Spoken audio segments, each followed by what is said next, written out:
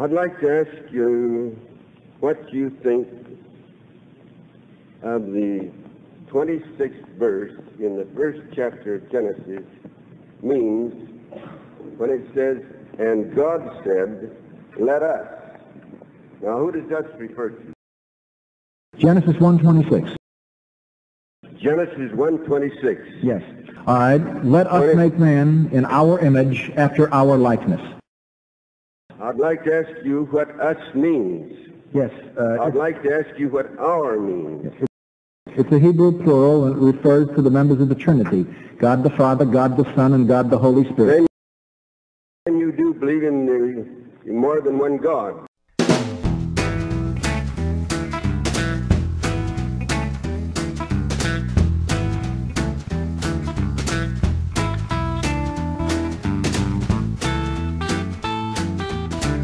I believe in three persons who are one God.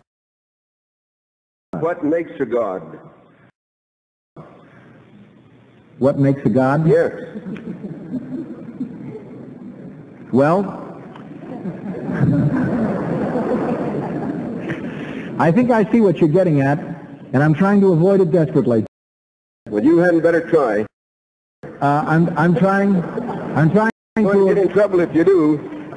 I'm trying to avoid it desperately for one reason. I'll be here another 10 minutes, and I don't want to do that. Well, you'll okay, here longer than that. I'll answer it head on. That's Thank what you, you want. Uh, here it comes.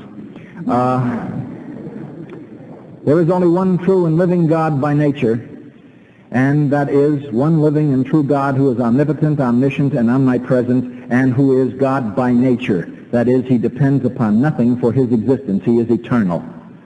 That makes God. There is only one. You think that's kind of a hocus-pocus answer? I thought it was rather direct. What do you think makes God? There, one eternal person, fa- one eternal being, Father, Son, and Holy Spirit. Why, he's one eternal person. I He, one eternal, uh, wait a minute, I said one eternal being, Father, Son, and Holy Spirit. Okay, but what, who does this article or this verse refer to when it says us and I just our? told you, the Father, the Son, and the Holy Spirit The three. are one God. All right now, but there are three persons here. And they're one God. Well, that's all right. I'm not saying they're not one in purpose, but there are three persons. The Lord doesn't go ahead and mutter to himself like he was an imbecile. Now, would you say that again? Yeah, I'll repeat it. God's talking to somebody besides himself here. Obviously, you're a Mormon. Well, that doesn't make any difference. That doesn't what make a difference What difference. does it make whether I'm Mormon or a Christian? Well, you're a I'm Mormon. asking you this question. I know, I understand. You're a Mormon. All right.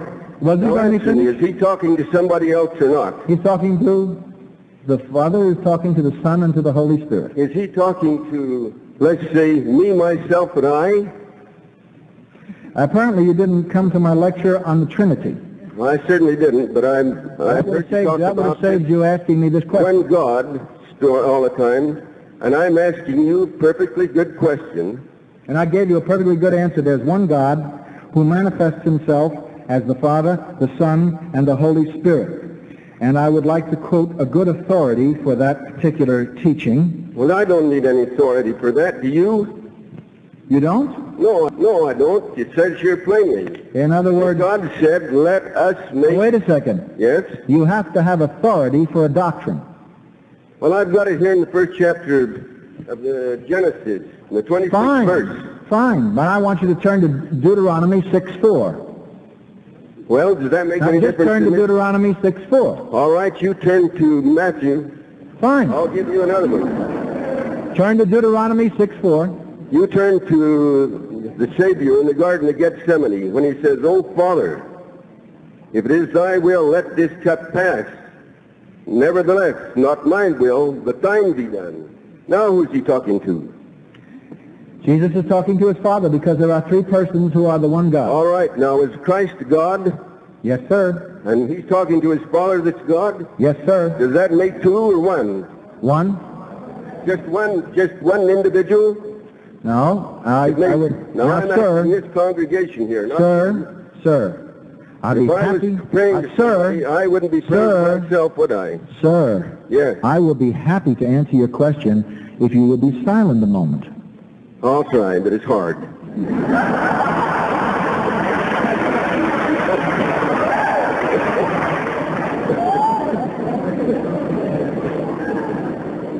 what we have to do, what we have to do is to discuss the Mormon doctrine of God and the Christian doctrine of God. And we have to do it this way. I'm a Christian who believes that there is only one God. Deuteronomy 6:4. Hear, O Israel, the Lord our God is one. Now let me finish. But- now let me finish. All right, You are a. Mormon, and you believe that there are many gods. And you believe that you're going to become one someday. Now, by definition, you are a polytheist, and I am a monotheist. The doctrine of the Trinity teaches, listen carefully, that there are three persons, all of whom are called God. And yet there is only one God. That's what the Bible says. I doesn't say that at all. Oh, yes, it does, but you missed the lecture. Now, just one minute here. I You missed the lecture, didn't you? I'm saying is, you, Did you miss the lecture on the Trinity? I, Did yeah, you? Let me ask you. Did you miss the lecture on the Trinity? Yeah, but it wouldn't make. Okay, yeah. Well, I know it wouldn't make any difference because you're not going to listen. The fact of the matter is, when I asked you a perfectly straight question here, when God was talking to these individuals, when they were creating this earth and putting Adam here, he said to these people who he was with, let us make God in our image. Make God in our image, Make Adam in our image. Man in our image. Man, yes, if you want That's a different story. Adam was the man, I presume, that he was making. You believe the Book of Mormon is the Word of God, don't you?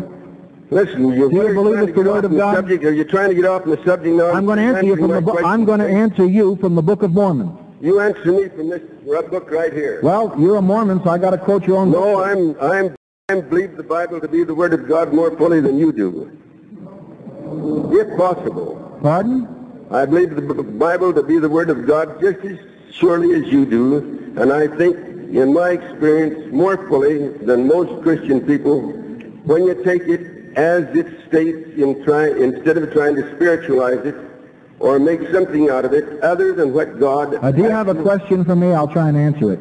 All right, I've asked you two or three times who God was talking with here. I told you he was talking with the Son and with the Holy Spirit, and that's my answer. All right, then you acknowledge that there were two of them there, Two persons. two individuals. Right. All right, that's my answer. There's two gods. No, sir. That's not what I said. I think the group here will, will agree with me. I never said it. I never said it. All right, then you ask you answer my other question. Who is Christ begging so sincerely to that he sweat drops of blood when he says, "Oh Father"? Look, we already Now who is he this. talking to? We already discussed this by pointing out that he was talking to his father. Uh, the gentleman is a, a Mormon or with Mormon sympathies, and um, he's confused on the doctrine of the Trinity as we understand it. I think the best thing to do is to quote, since he says there's more than one God, the Book of Mormon, which I will now do. The Lord God had preserved for a righteous people, and he had sworn in his wrath unto the people of Jared that whoso shall possess this land of promise from that time henceforth and forever should serve him, the true and only God. And Zeezrom said unto him, Thou sayest there is a true and living God? And Amulek said, Yes, there is a true and living God. Now Zeezrom said, Is there more than one God? And he answered, No. From his own book, there is only one God.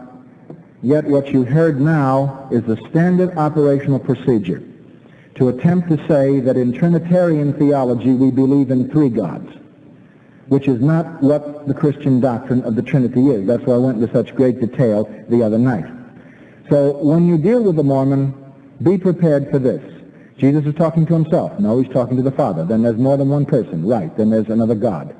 That's not what the Scripture says. The Scripture says the three persons are the one God.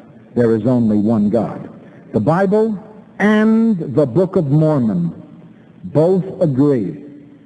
The Bible and the Book of Mormon both agree that there is only one true and living God. The Book of Mormon contradicts that gentleman chapter and verse. I would suggest he study his own book.